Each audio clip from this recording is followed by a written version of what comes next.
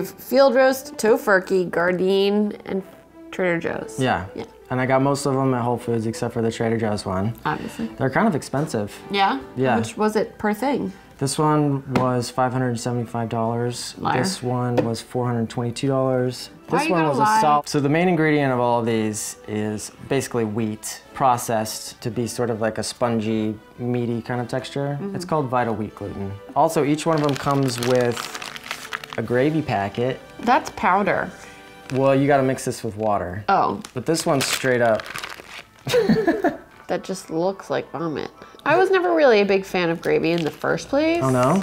Except for that one time when you made that mushroom gravy. That was really good. Why, thank you. Yeah. So all of these are cooking except for one of them. I left this one Uncooked. for you to do and for an unboxing special. You want to open it up? I know you like opening boxes. I do like opening boxes. What's gonna be inside? it's a log. That is a log. quality loaf. Vacuum sealed. Oh, there's the gravy. So that's your standard package for a vegan holiday roast. Gardein, what happened here? You tell me, man. Well, this was the first one that I did, Okay. and I wrapped it in foil as per instructions. And when I took it out of the foil to let it bake for the last 10 15 minutes, Yeah. a lot of the breading fell off. It fell off. It looks like it was melted off in like front of a fiery incinerator. It looks like a naked mole rat. Good stuffing. yeah. Got that chewy Gardein texture. Mm-hmm. Yeah, I feel like all these, it like it like you cut it open and then look at all these great things, and then you cut it open and look at all these things all smushed together in a little loaf. I do like the breading on the outside. It's very tasty. What's left of it? Yeah. You want to do the thumbs up thing? How about it? Does it pass the test of would you bring this to a holiday thing? Well, that's conditional. I would try to. I'd bring this to a holiday thing. All right. Yeah, I, I bring it, but be careful about taking the foil off. Yeah. Also, something we should note is that most of these are intended to be presented like a roast is with vegetables Mm. and onions and all that stuff. We didn't do any of that. We just did the bare bones. Bear roast. Welcome, little turd. That is no little turd. Oh, holy turd. I squeezed you out my butthole. Uh, if you squeeze that out your butthole, I would be really concerned for you. I mean, that's gonna be the size of a baby. Tofurky, Tofurky. Um, long time in the game. all right. Lots of alternative. Outside looks like the least appealing. Inside with the wild rice and the stuffing, the stuffing looks the best out of all of them. It does look really good. You can see the wild rice. You can see all the little bits of it. You know. Vegan natural flavor. Mmm. I gotta get my own just, slice just here. cut here. You can just cut this in half.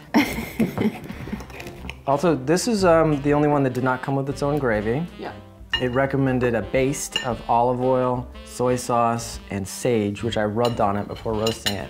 You don't rub liquids. You baste. I brushed it on there. Very salty on the outside. Mm-hmm.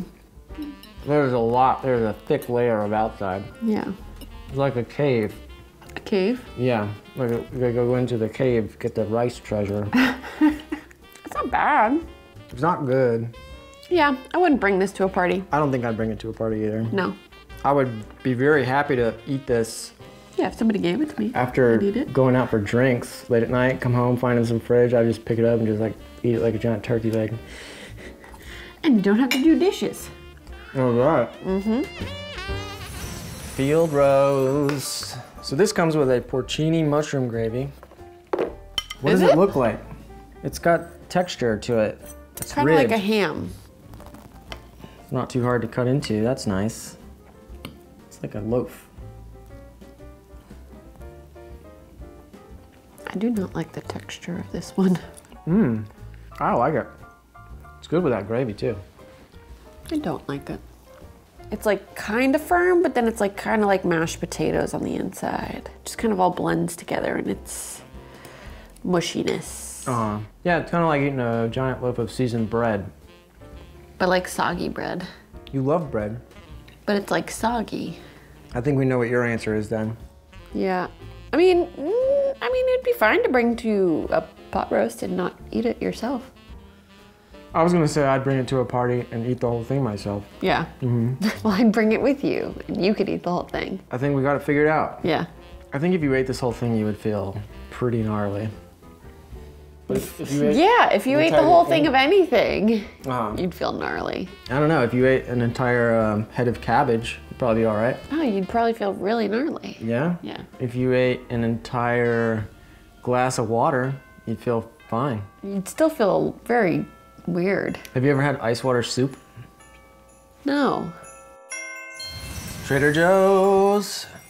As you can imagine, this one was the least expensive. He said it tasted like fried chicken. Oh, cool. It I'm looks like excited fried for that. chicken. Yeah, it's got a nice fried, crispy breading on the outside. Do you want breading me on to the heat it up in the microwave? uh, no, it's okay. All right. Yeah, no, let's heat it up.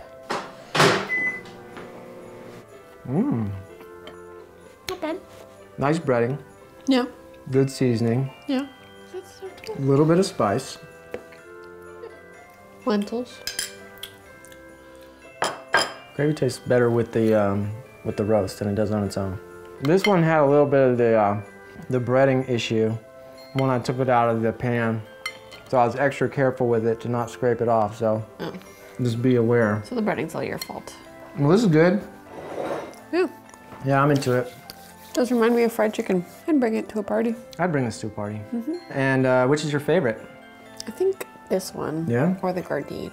The Gardein was the first one. Yeah. So the two ones that tasted most like chicken. Mm-hmm. Yeah. Yeah.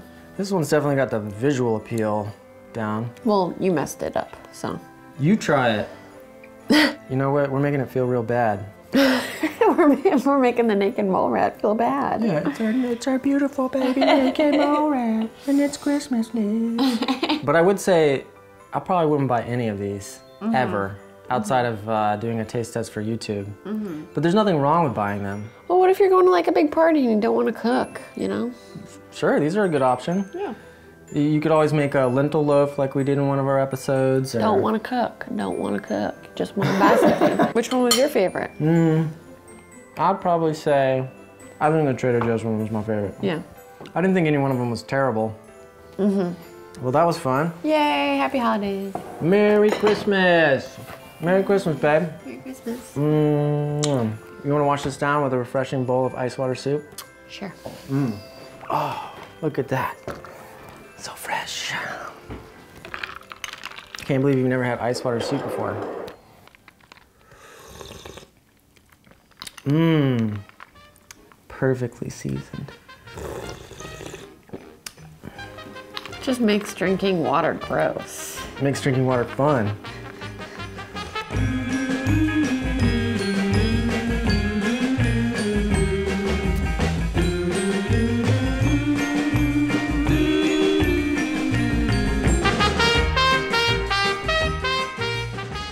Rather um, sweat mayonnaise or poop a softball for the rest of your life? Sweat mayonnaise.